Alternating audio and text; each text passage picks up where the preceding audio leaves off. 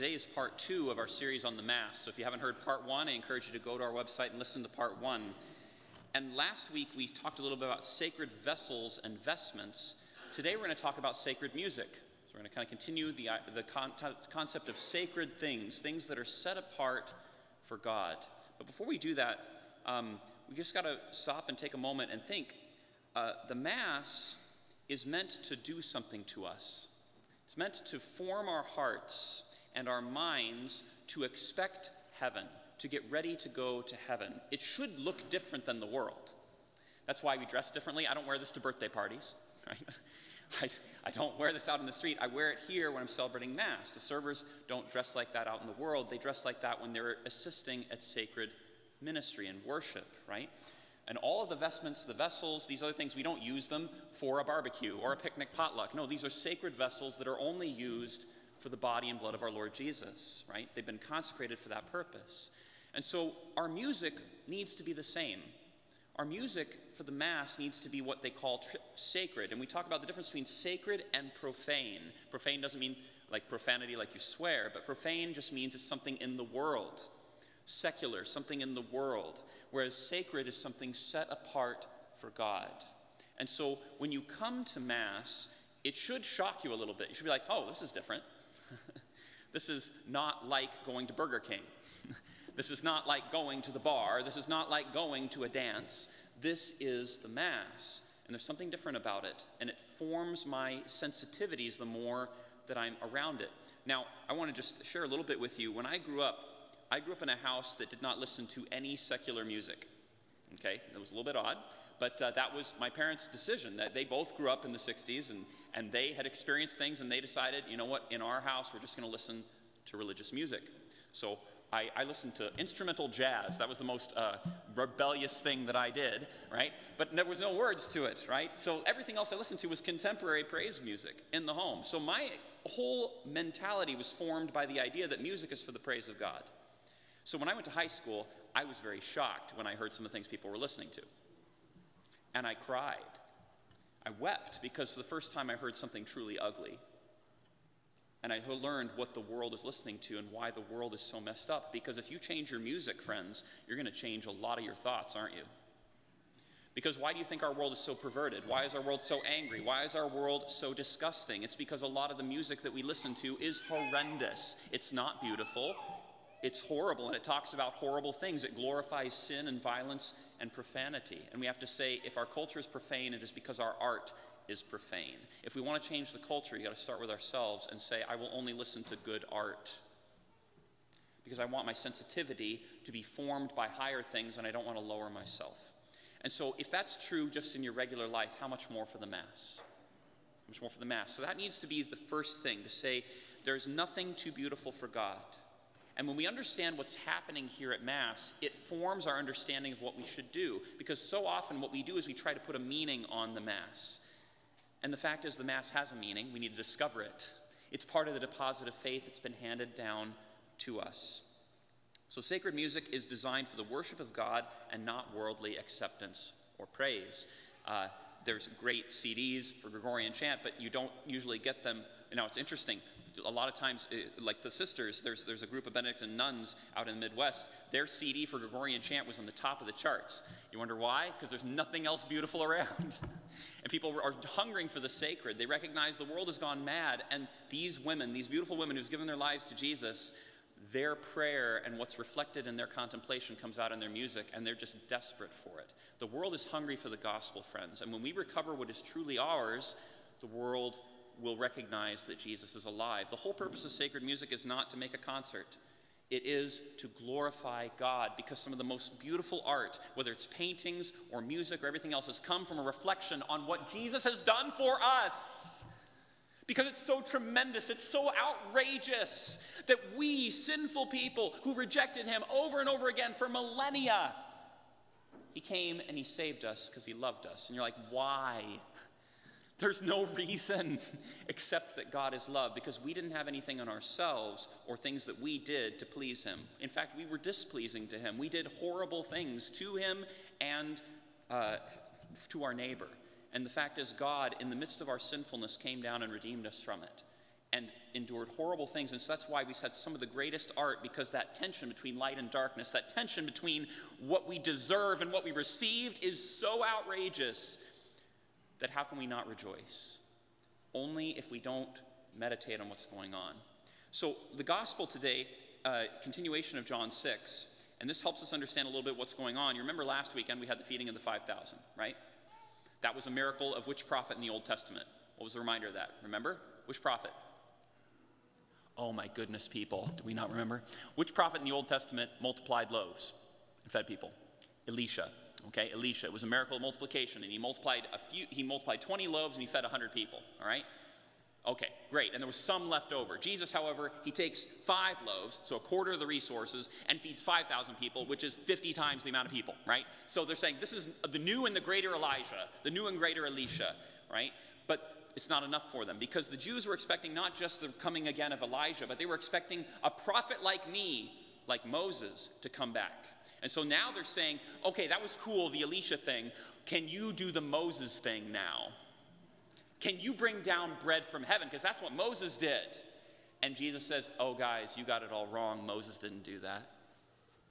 Do you think Moses could open heaven and bring down bread for you? That was God who fed the people. And they're saying, okay, okay, fine, give us that bread. And Jesus is like, I know you guys. You're not here because you saw signs. You're here because you got a free meal and you want one again.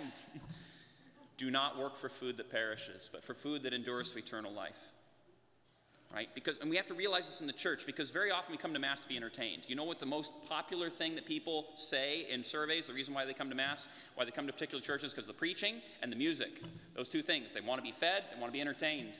And the fact is, is that, friends, no matter if the preaching stinks, no matter if the music is horrible, and thank God we have good music, right? But the fact of the matter is, is that even if it was horrible, you still have Jesus.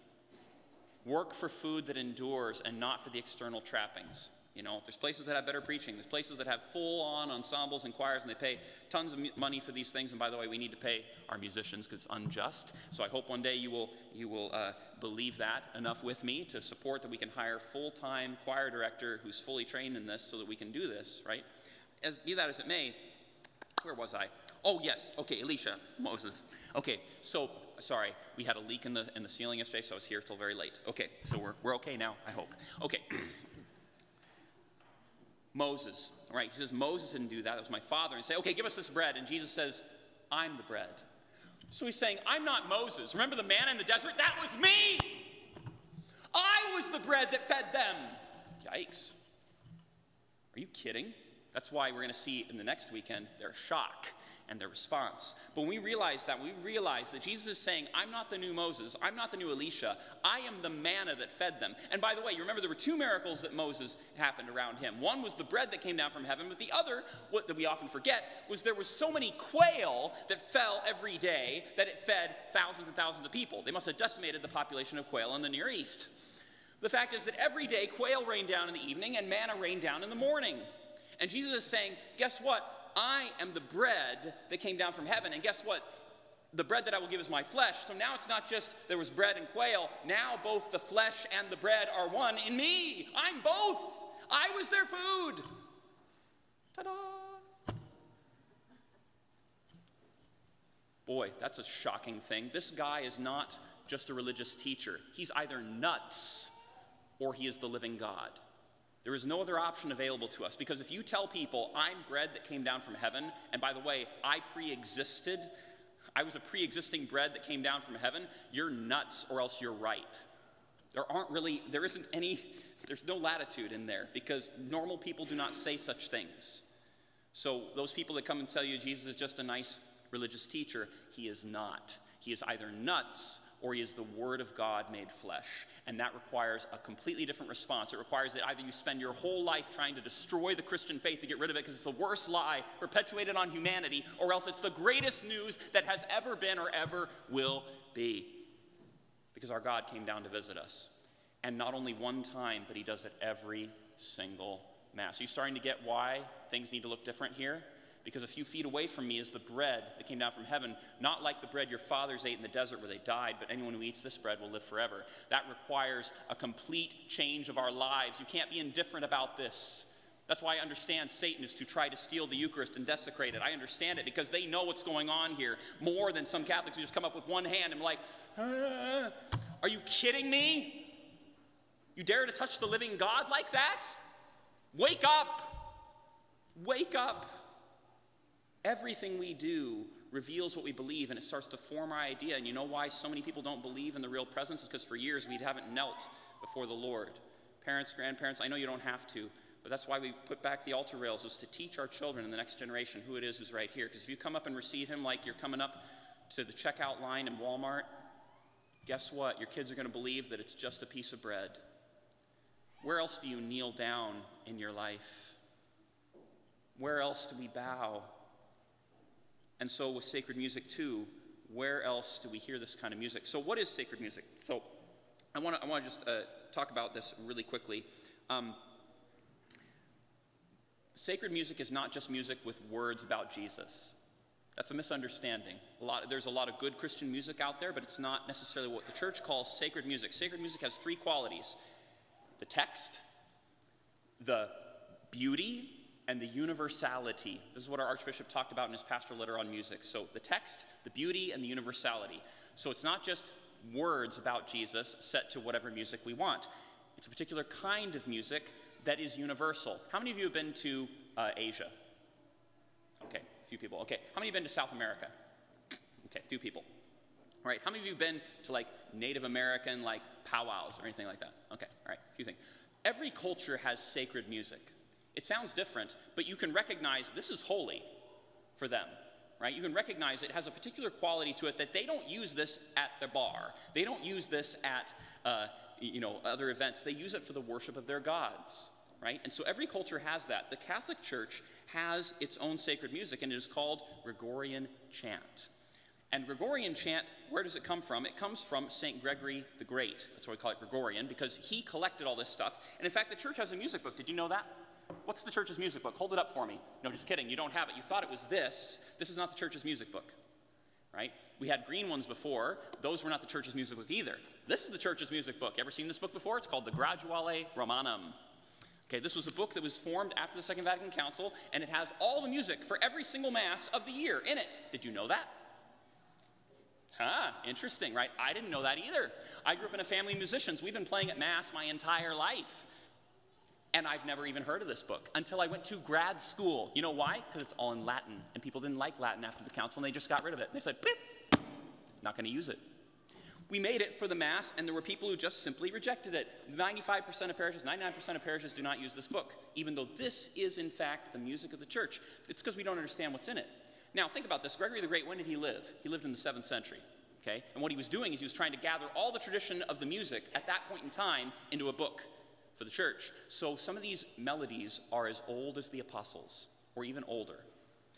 In fact, some of these melodies, some of these tunes could have potentially been sung around the time of Pentecost when the Holy Spirit came.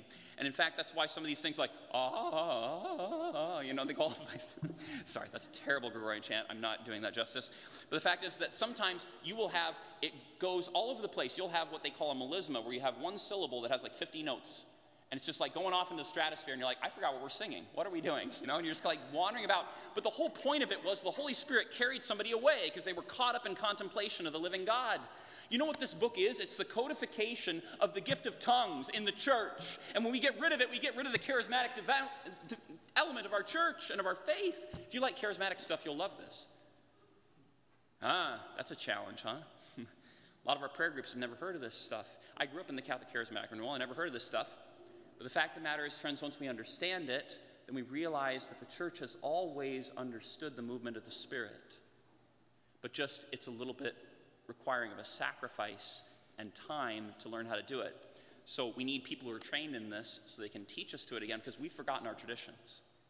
There are actually three things the church gives us right now as valid options for music at Mass. And so if you open your book, you'll recognize when we were going through the readings uh, for today, you've got the entrance antiphon, which we sang today, right? You've got the offertory antiphon, and you've got the communion antiphon.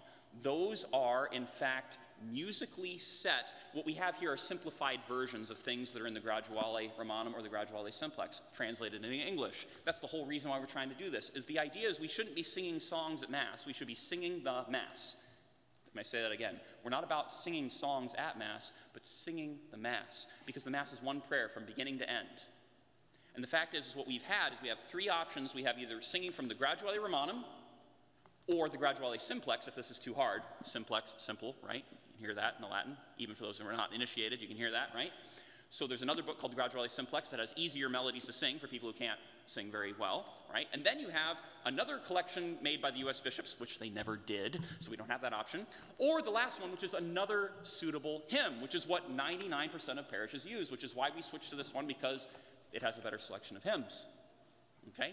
So the fact is, all those are appropriate, but recognize that when you're choosing to use a hymn, you're substituting for this. And so, musicians, and this is what our choir is trying to do, is either using this as the foundation for picking hymns, or we use stuff from here, right? So we're moving in that direction, and I want people to understand that, that that's not something that is a pre Vatican II idea. That's something very much consistent with the Second Vatican Council.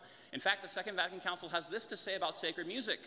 It says, all things being equal, Gregorian chant is to have pride of place in our churches. Have you ever heard that? Hmm. And you know what it also says? It says in the same document that, that the Latin is to be retained, and every Catholic needs to know the parts of the Mass that pertain to them in Latin.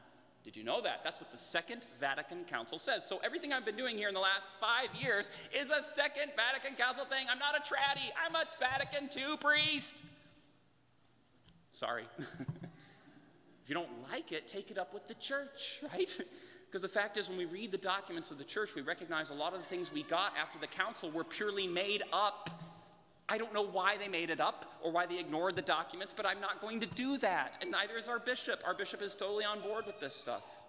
That's why he wrote these documents. So I encourage all of us. I could talk for hours on sacred music, but I can't because um, I'm exhausted. And so uh, you probably are too. But in any case, what I, what I want to just uh, say is that I'm not ragging on contemporary music. You know why? Because, uh, let me just give you a little story. Okay, so remember how I said I grew up with just contemporary praise music in the home? Okay.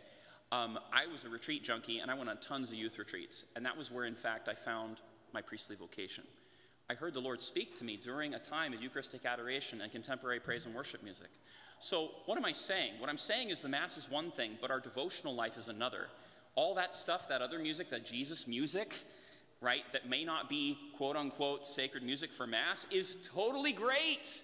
And I use it everywhere. It's why we have healing nights here. It's why we have praise and worship and Eucharistic adoration. I'm fully in support of those things because we need both the contemplative aspect of sacred music and we also need the affective um, um, uh, dimension that stirs up within us love for Jesus. We need both of them in our spiritual diet. If you only come to Mass on Sunday, you're going to be impoverished. You're not going to be a saint if all you do for your spiritual life is come to Mass on Sunday for an hour. You need to pray every single day and have deep, intimate love for Jesus every day. I want to I want to share also that the fact is the church says that pipe organ is the principal uh, if you want to say, instrument of the mass. It's the closest to the human voice. The human voice is primary. We need to sing. We can't hide behind our instruments. And that's what happens sometimes is that people use their instruments as a shield to not sing. That's not okay. We have to recognize there's been a huge debate in the church about whether we should have instruments at all. right? And we go back and forth between those two ideas. But the fact is, is that I'm okay with other instruments too, as long as they can be rendered fit for sacred worship. I'll give you show and tell. You like show and tell? Okay, you like show and tell.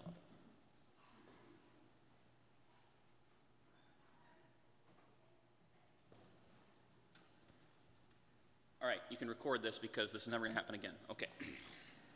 I do not like priests who wear guitars at Mass and play it's showboaty and bad, and so I'm really breaking my own rule. I don't like it. So the only reason I'm doing this is to show an example because it's easier to demonstrate it than to talk about it, okay?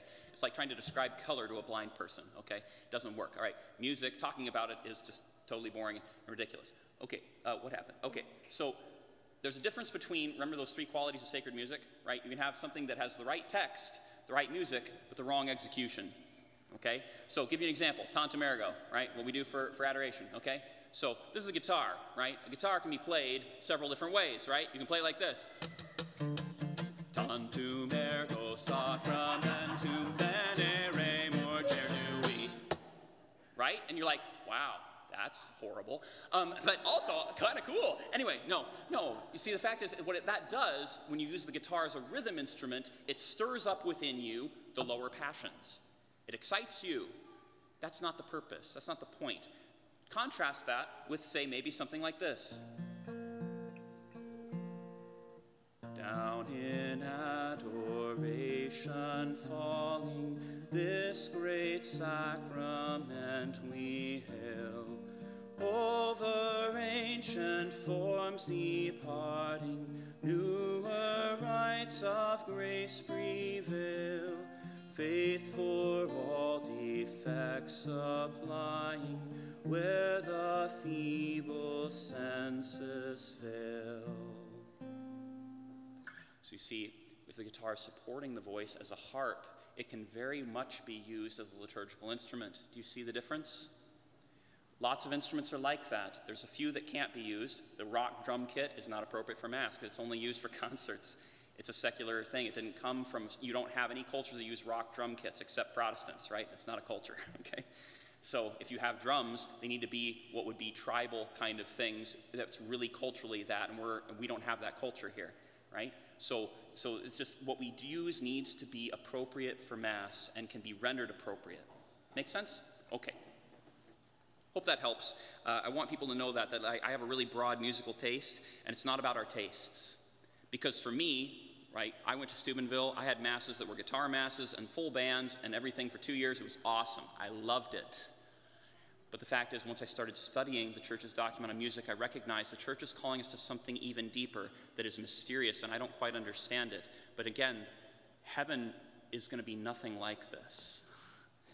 And so, if our experience of Mass is a little bit confusing or mysterious and you don't quite get it, that's the point. It's meant to draw you out of your regular experience and say, I've never heard anything like that before. Yeah, heaven is going to be pretty amazing. So, uh, I'll leave it there. Um, there's lots of great uh, resources for sacred music, and hopefully we'll talk about that more in the future, but I hope that was helpful.